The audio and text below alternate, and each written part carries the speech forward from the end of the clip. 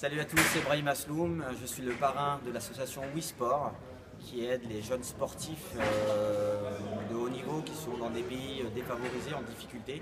On essaie de les accompagner à travers cette association pour pouvoir les emmener aux Jeux Olympiques. Donc soutenez cette association, soutenez WeSport.